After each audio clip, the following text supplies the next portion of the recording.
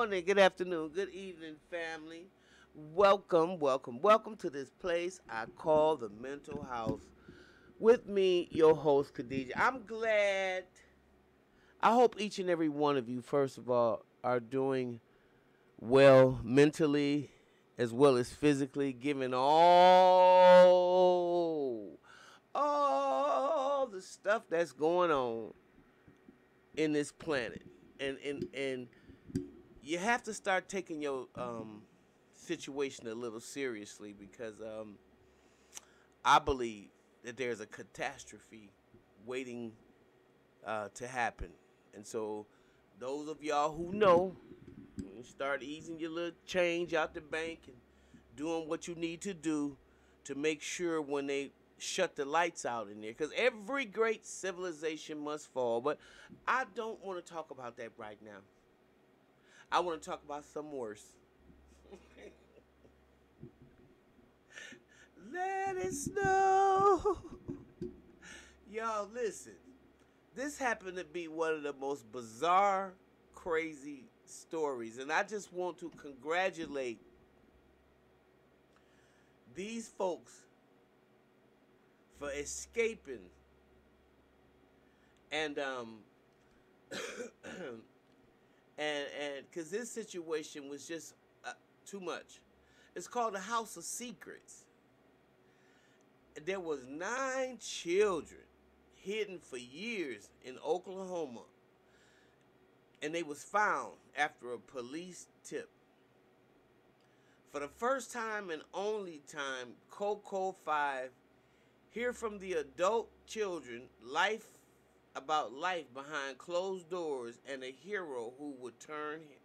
Lord have mercy, Lord have mercy, Lord have mercy. Okay, this is insane. Okay, y'all remember Flowers in the Attic? Okay,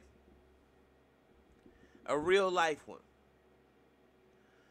Um, I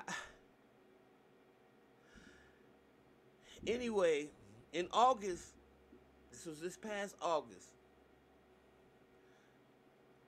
Uh, I'm assuming. Anyway, Oklahoma City police got a tip that a man had multiple children with his stepdaughter. Okay? That report would unravel a family and shake an entire community. Um, again, for the first time and only time, KOCO 5 hear from the adult children about life behind closed doors and the hero who will turn him in. The cul-de-sac in southeastern Oklahoma City looks like any other, but inside the yellow house was a man with a secret. One woman, Dolores Cole, who would unearth the truth. It just took some paying attention. And believe it or not, he was telling on himself every single day, but no one listened, Cole said.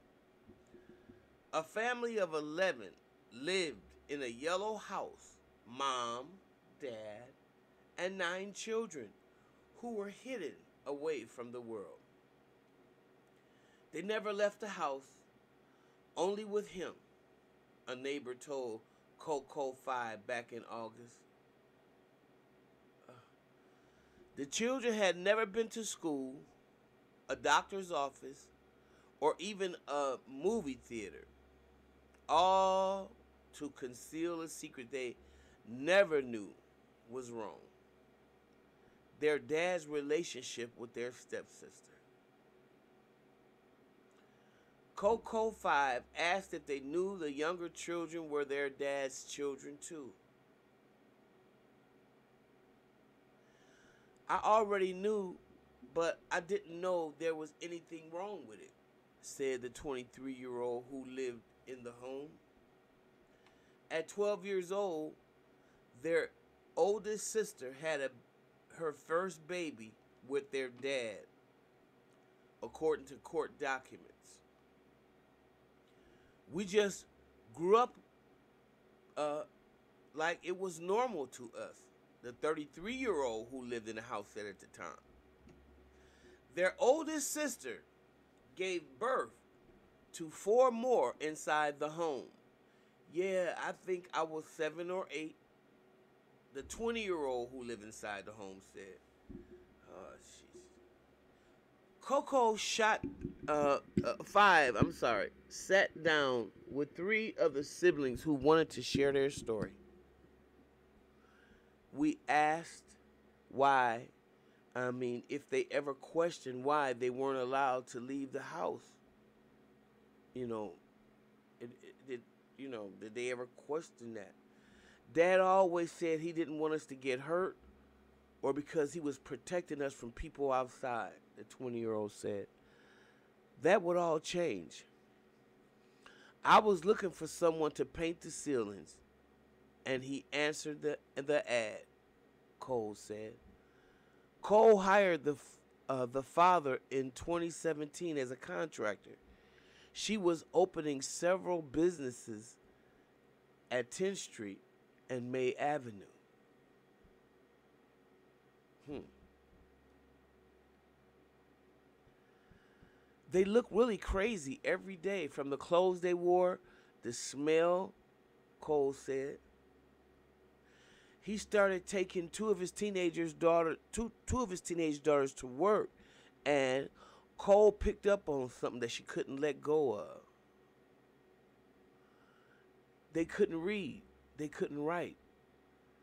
The speech was really bad.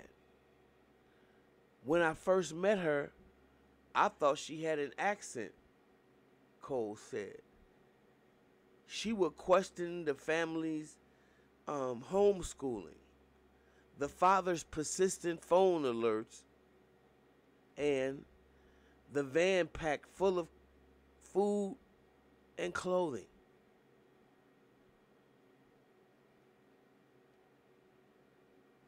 He tried to homeschool us, and it went from trying to not doing. Cole said. It seemed like there was nothing overtly wrong. Every day it was driving me insane because there was nothing I could do about it. It was nothing I could tell the cops, Cole said. However, that step that changed when she met the stepdaughter. Hmm. The first time I met her was in the hallway, and I go, man, she looks like she just had a child.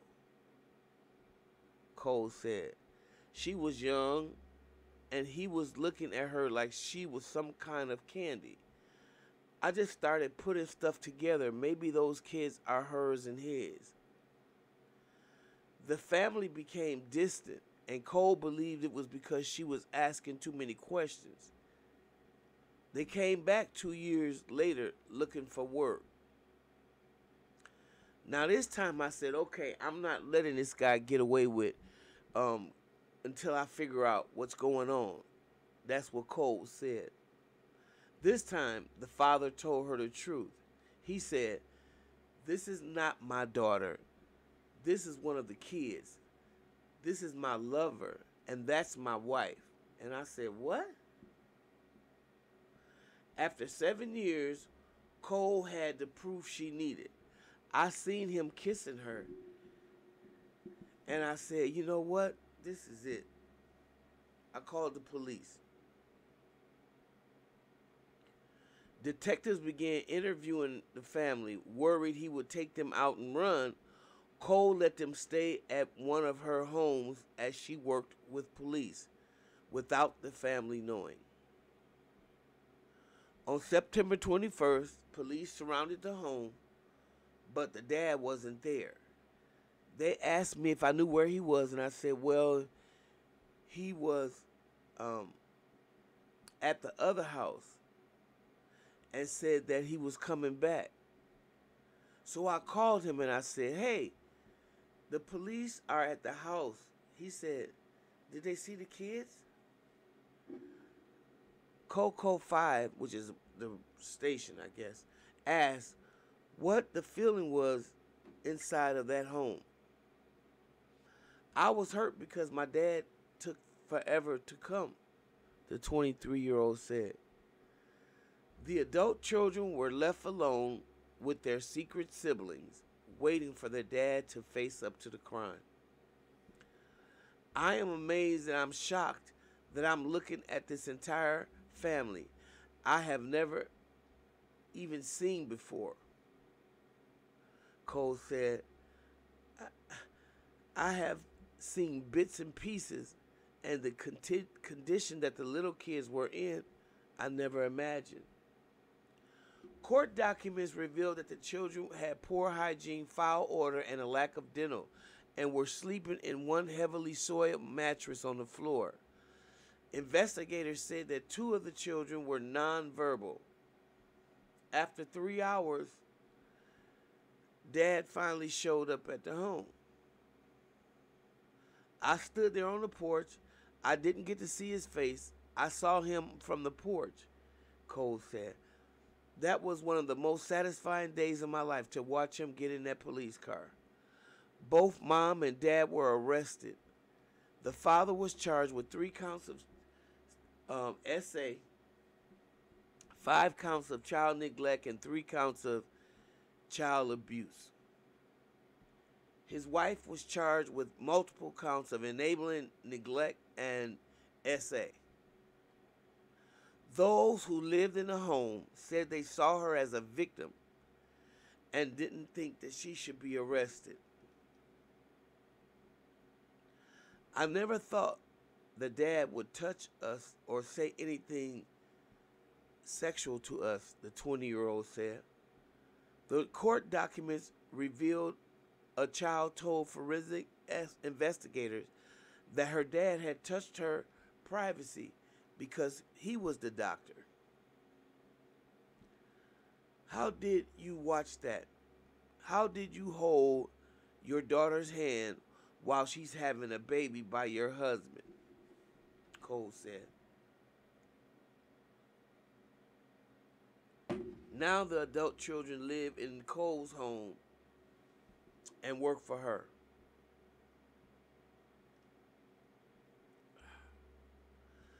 I can't hate them because hate is a strong word.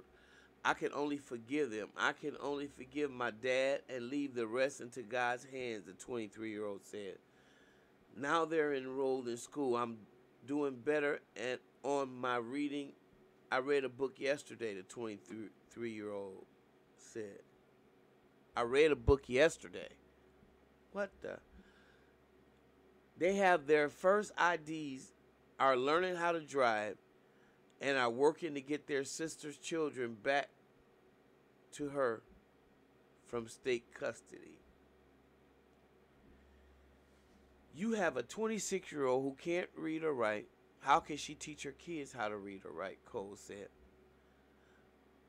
KOCO5 asked if they felt grateful that Cole intervened. Yes, because she was helping us out, the 23 year old said. Now, Doris hopes the community can wrap around the family and lift them up as they navigate life for the first time. It's hard because I'm the one who did it, but I'm also the one taking care of them. I'm hoping that anyone who wants to help is a genuine help. They've already been lied to and hurt their entire lives. I'm hoping their journey and the people they meet along the way remember that.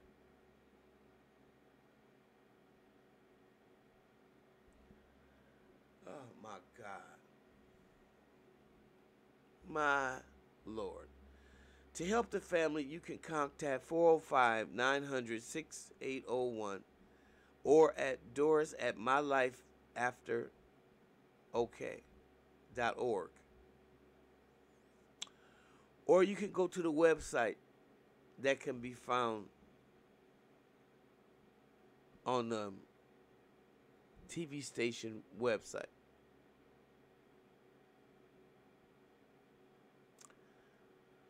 It was just a house of secrets and abuse. I um I um I I I don't know what to say about this because these individuals now are going to go out into society as they have in their 20s and 30s and they're entirely fucked up.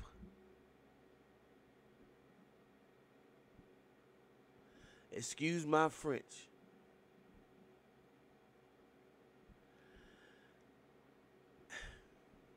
Okay, I'm done. I want to know what y'all think about it. Please let me know. If you like what you hear, subscribe and share. Ah, I'll see y'all in the next video.